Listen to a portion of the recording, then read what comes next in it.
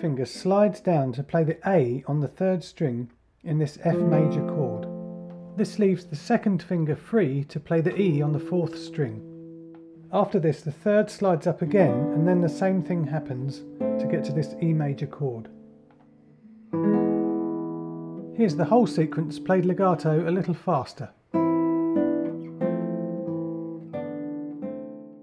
Someone once told me a really good tip on how to negotiate a long rallentando like this at the end of a piece. And uh, say it's a, a, full bar of slowing down. One, two, three, four. What they said was to subdivide the beats um, between the crotchets into semiquavers, and that way it's much you get a much more even rallentando. So it's one and a two and a three and a four.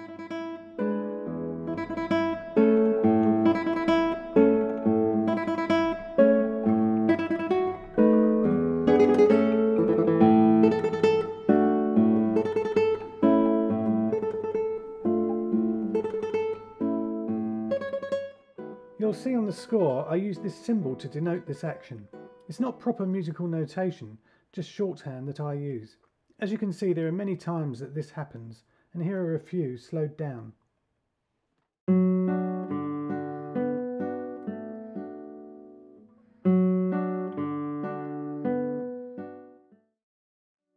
Bar 12, it's possible to finger the G chord here with 1, 2 and 3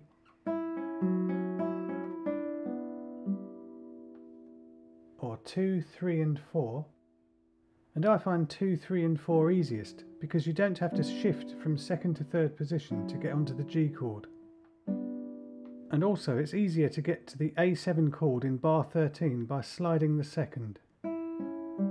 Also the hand doesn't have as far to travel.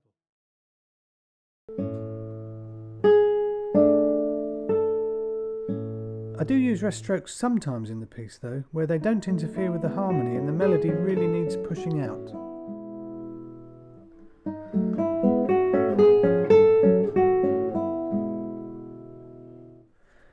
Incidentally, it's probable that Sor would have played this run using thumb and index, so that's another option open to you.